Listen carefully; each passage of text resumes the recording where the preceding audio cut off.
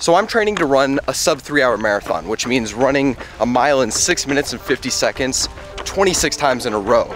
And I'm not a professional runner, I'm not an elite runner. In fact, I only started running seriously about two years ago. So in this video, I wanna give you guys my advice on how to get into running and how to become a runner.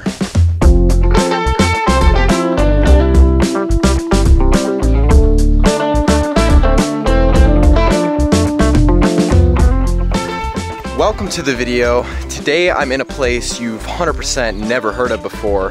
I'm in a little town called Elbing, Kansas, and it is quite literally a 200 person town surrounded by thousands of acres of cornfields. But this is where my grandparents live, and I have a lot of great memories here. It's a small, quiet little town.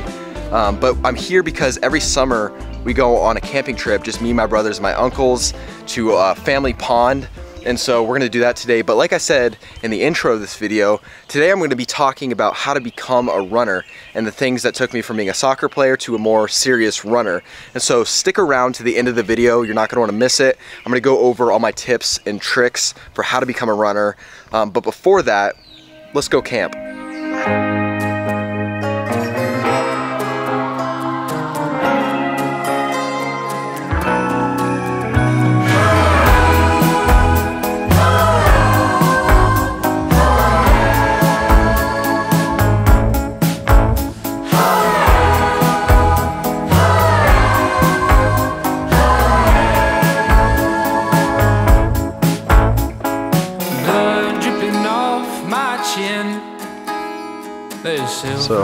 Boys,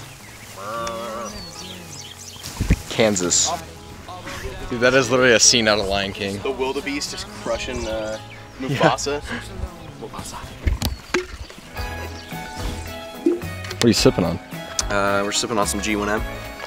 yep, G1M Sport from uh, BPN. Color red inside our veins, driving us to the edge and the other side of insane. Last thing I would ever want is ticks. I've never had a tick, but I don't ever want to get one. That's for sure. So I'm loading up on the tick repellent spray.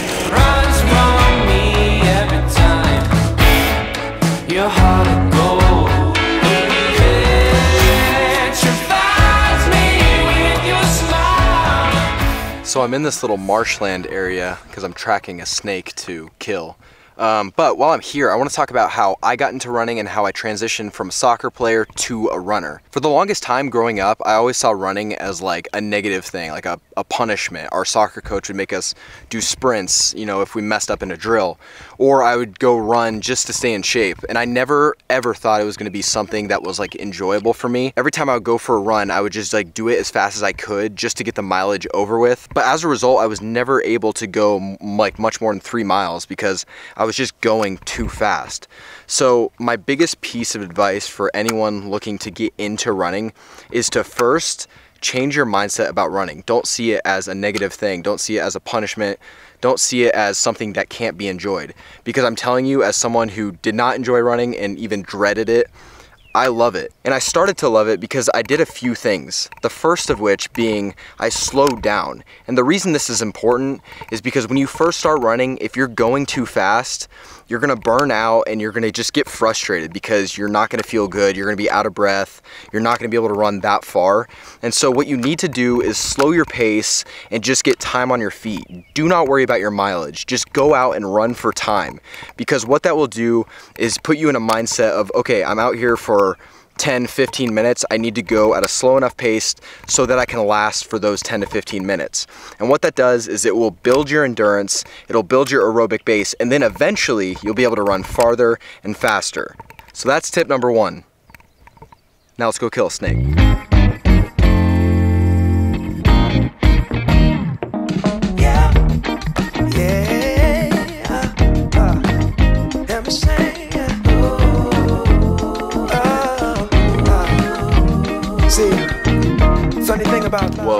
Buns are very important. So you want a flattened bun that's not airy, you know? Um, Why can't you even open it? Next step is to grab a spoon, grab inside those beans, just sprinkle some on the top, just a little bit. Always ketchup before mustard. One to ten. Mm, um, mm. For a hot dog, I'll give it. I'll give it a 7.5 out of 10. Not my best work. Okay, ready? So I'm gonna push it and then I'm gonna get in. Okay, just sit on that side. Okay. You good? Okay. Yep. Here you go. So it's me and my boy Sam out on the boat, taking in the views. Let's go check that. Let's go run and check those guys out. All right, we're gonna go check out the cattle.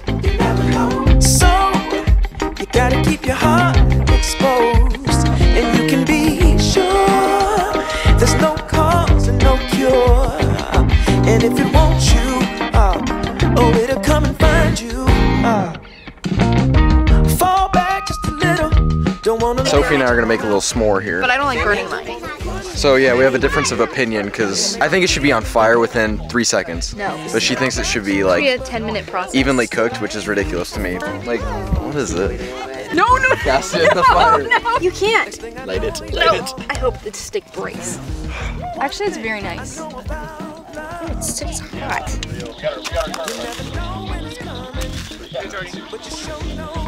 Okay. Could have been cooked a little bit longer. No. 10 out of 10. Eight out of ten because it needs to be burned. How's it s'more? Great. Tell me about it. Why don't you have Why don't you have chocolate in there? Good. Perfect. Mm. the best. Good. so ten out of ten. What? Ten out of ten. 10 out of 10.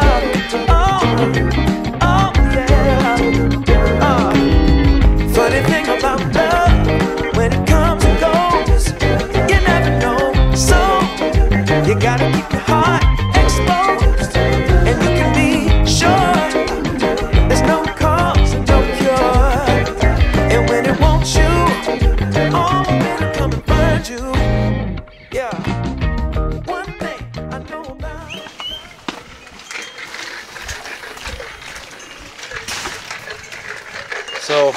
got rained out last night, so I had to pack up our tents and everything really quickly. It was kind of frustrating actually. So we ended up just sleeping at my grandma's house. But I still have my long run to get done. So I have a 10 miler to do. But honestly, it's kind of fun running in this little town. Um, so I'm just gonna make up a route and just go for it. My brother Jordan's gonna come along with me if you saw him from last episode. So it should be fun. no, all my electrolytes. So like every run, we're gonna do a pre-run fit check, which if you saw last video, I'm wearing the exact same thing, so just go watch that video. But let's see what Jordan's up Yep, to. I got a new fit check today. Um, I got the same shoes, the um, Tempo Next Percents. Um, I got some uh, high ankle socks. I got Fabletics, oh, wrong side. Fabletics, and then I have a shirt that um, I tore off the sleeves because I forgot a shirt to run in. So this is what I'm doing today. So this, this is the fit check and the Apple Watch. So yeah. 哈哈哈哈哈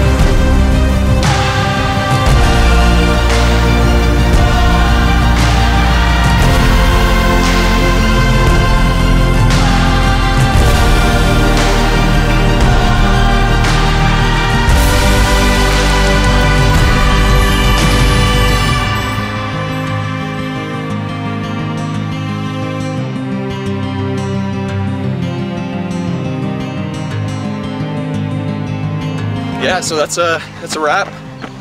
I did uh, six miles. Nico's doing 10, but we went at a eight minute and 30 second pace. Uh, but it was a good time.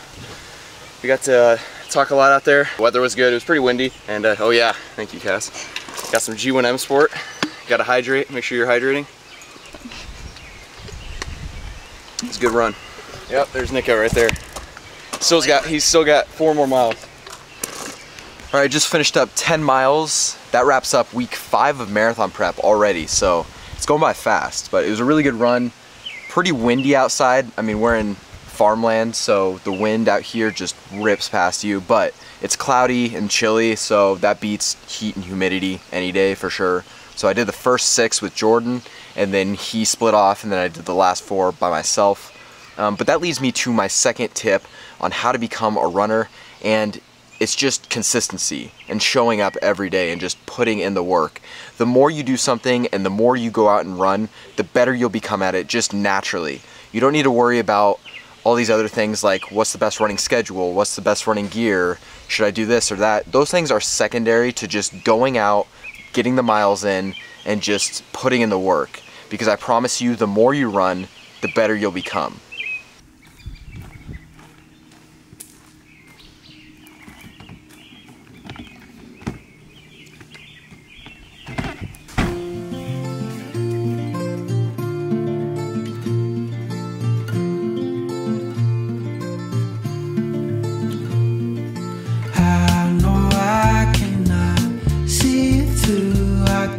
All right, so I'm back after a solid weekend at my grandma's house, and I wanted to get into tip number three, which is keep running fun and exciting for yourself. There are things you can do to keep running interesting, fun, exciting, all those things, and the first of which being run with other people find someone to go run with. Running with other people pushes you in a way that you're not gonna be pushed just running by yourself all the time. So text a friend, get them to go run with you, because I promise it'll make running more fun and it will make you a better runner. Second way is to switch up your routes. Find new places to run throughout the week. Don't just run the same route all the time, because that can cause running to become boring and stagnant. So just Google running trails near me and just find a trail and go explore it, go run it. It'll keep running from getting boring and it'll keep things interesting and keep you excited about running. The third way is to listen to some music. I love throwing on my headphones and just blasting some cinematic movie soundtrack music and it just makes running epic. Feels like you're running through a movie. And so listen to some music. I wouldn't do it all the time, but I definitely think there's a time and place to throw on some headphones, blast some music, and crank out the miles. All right, the fourth and final way is to invest in some good running shoes. It sounds kind of superficial, but I promise you, if you go and buy a good pair of shoes that you're excited about and that you really like, you're gonna be more excited to go run and you're gonna run more. And like we talked about, if you run more, you're gonna become a better runner. So go buy a pair of shoes you really like and take them for a little spin. Okay, so my fourth and final piece of advice is to not compare yourself to anyone else. It can be really hard for people to first start running because it's super easy to get caught up in the comparison game of thinking, oh, this person is a much better runner than me, they can run this pace for this long, I'm nowhere near that. But let's face it, unless you're Eliud Kipchoge himself, you're never gonna be the best runner. So if that's how you measure your success, then you might as well just give up right now. Instead, you need to change the way you measure success. Instead of measuring it as, I need to be the best in the world, think about just being a better version of yourself than you were the day before. And that's how you should measure success. Measure it based off of making incremental improvements every single day. So those are my tips. That's my advice for how to get into running. I hope you enjoyed the video. There's gonna be new videos every single week, so subscribe, please, and like the video. Drop a comment. I'm gonna be reading through the comments and responding to you guys, and I will see you all next week.